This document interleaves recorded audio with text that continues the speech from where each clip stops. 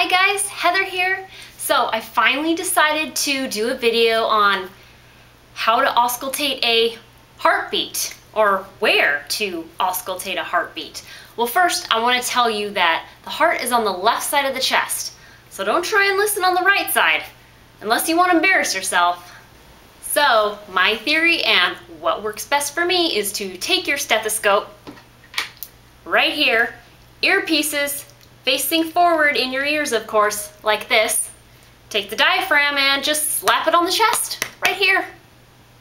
Yep, I have a heartbeat. And it's regular.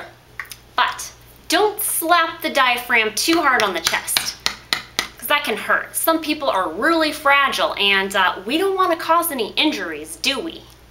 Of course, I'm being a little silly, so if you want to get textbook technical, the correct space to hold your stethoscope piece would be in between the second and third intercostal space.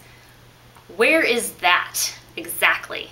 Well, right here we have the clavicle bone, right? Let's go down. Do do second rib. I'm gonna guess maybe third. Somewhere about right here with the stethoscope. Take a listen. I hear it, lub dub, lub dub, we're good. And sometimes it's hard to find the exact correct location because some people, they just have a little excess tissue going on and you're not gonna be able to feel those ribs. And uh, their heart might be enlarged or their anatomy is just a little bit different.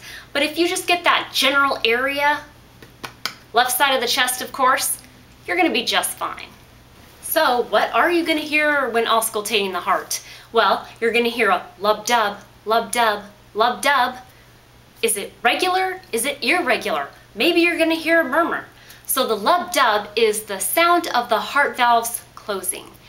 And a murmur can be like stenosis, where not enough blood is passing through the heart valves, or the heart valves are not closing properly. So you're gonna hear a swoosh, swoosh, swoosh. Now you guys are all educated on how to listen to your heart. See if you have any heart murmurs. Well, thanks for watching. Until next time, I'll talk to you later, Kay. Bye!